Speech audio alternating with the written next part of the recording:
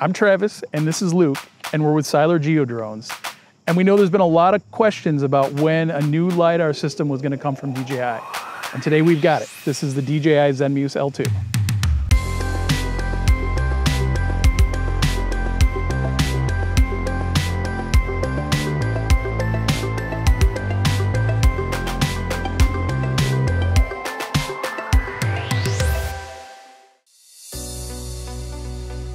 The L1 completely changed the aerial LiDAR market. we we could not be more excited to have the L2 here today.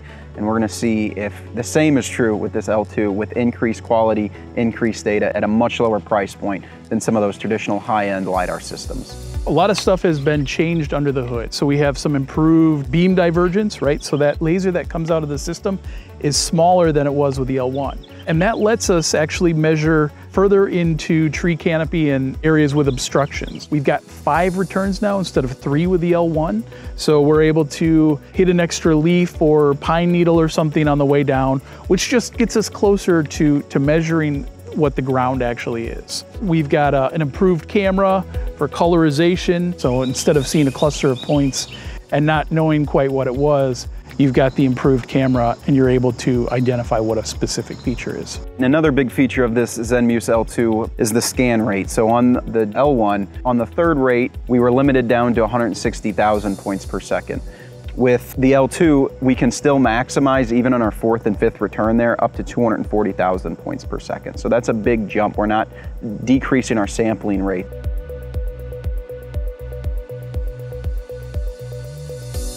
There have been some changes in, in the latest version of Pilot. Uh, it looks pretty similar though, which is a familiar thing for users. So what I'm gonna do is click the points of interest here at the boundaries. So I've got my area of interest selected. I'm going to click the blue checkbox. The drone we're using is the M350 M300 RTK. I'm gonna go all the way up to five returns. So I picked Penta return, my sampling rate, 240 kilohertz, and we're gonna make sure that RGB coloring's on. So I'm gonna run through some of our pre-flight checks that we would always do and get this thing up in the air and collect the data.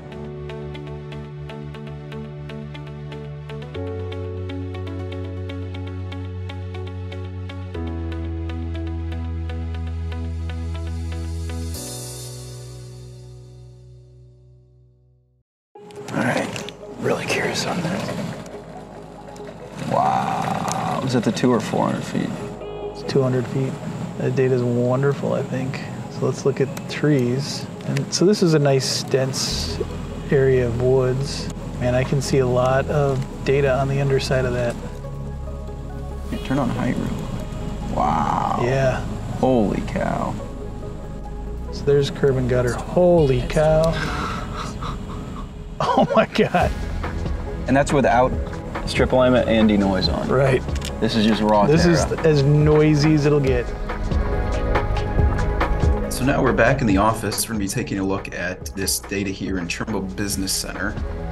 We flew both the L1 and the L2 at very similar settings here. The only main difference was that the L2 has five returns and we're still shooting at 240,000 points per second, whereas on this sample data set with the L1, we were using three returns at 160,000 points per second.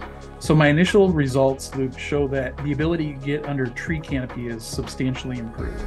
So we're seeing more points under there, less gaps. This was a, some fairly dense stuff. Now, if someone's to take this and turn this into a terrain model, uh, that would uh, pretty clearly show you what you're looking at. Also, the accuracy and precision is quite a bit improved here. For example, this is a curve here in the cutting plane view, and what we're seeing is the red is the old L1 system, which you can see is not quite as accurate and precise. The L2 it definitely has some improvement there. So we've also got some survey measurements made here. So 0.102 is going to be the back top of curb, and 109 is going to be the flow line just ahead of the curb. Let me go ahead and turn off the L1 data so you can get a clean look at the L2 on hard surfaces. So what we found in the data is we're able to measure hard surfaces much better than we were in the past, right? And that's the improved performance in terms of accuracy and precision.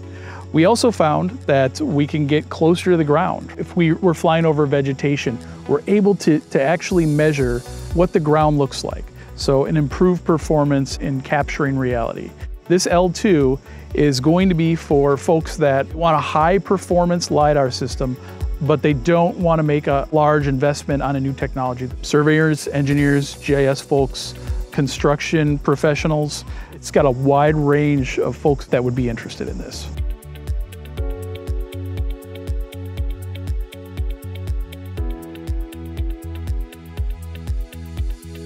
The bottom line here for this L2 is it's coming in at a much reduced price point than traditional aerial LiDAR units, just like we saw with the L1. This is a refresh, a new upgrade from that previous L1 and potentially hundreds of millions of points on the ground with this L2, allowing for better data capture, a lot more um, data potentially to be gathered in areas of dense vegetation, under tree canopies. Additionally, we're still able to get that real-time point cloud processing and very quick processing in DJI Terra.